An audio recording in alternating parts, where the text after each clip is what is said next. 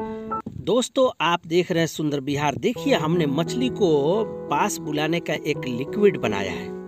एक पानी जैसा तरल पदार्थ बनाया है। उसको हमने हाथ पर अपने पार्टनर के लगाया।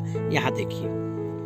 और इनको हमने पानी में भेजा ताकि हम इसको टेस्ट कर सके। तो देखिए, आप वीडियो में देखेंगे, ये बड़ी मछलियों के लिए है और कई बार टेस्ट कर चुके हैं। यहाँ हम छोटी मछली को इकट्ठा कर रहे हैं, क्योंकि पास में है। तो दोस्तों, इस चारा, इस चीज़ को ये लिक्विड है, इसको चारा के अंदर मिला करके या ग्राउंड बेट के अंदर मिला करके जब आप पानी के अंदर डालेंगे तो ज़्यादा मछली आएँगी, ज़्यादा मछली इकट्ठा होंगी। देखिए, ये अपने हाथ हाथ के ऊपर ये लेप लगाए हुए हैं और देखिए किस तरह से मछली इनके हाथ के पास आई हुई है। इस लिक्विड का असर कम से कम दो घंटा रहता है दोस्तों, पानी में जाने के बाद। तो देख लीजिए, किस तरह से यहाँ पर मछलियाँ इकट्ठा हुई हैं।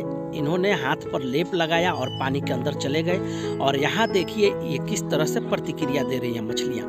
बिल्कुल हाँ देखिए सर। बिल्कुल पास में इनके घूम रही हैं मछलियाँ। दोस्तों, वीडियो कैसा लगा प्लीज़ हमें बताइए। अगर आप चाहते हैं कि इसका वीडियो मैं अपलोड करूँ कि इसको हमने इस लिक्विड को किस तरह बनाया तो प्लीज़ कमेंट करके ज़रूर बताइएगा। ओके दोस्तों, सुंदर बिहार देखने के लिए धन्यवाद। थैंक यू, शुक्रिया।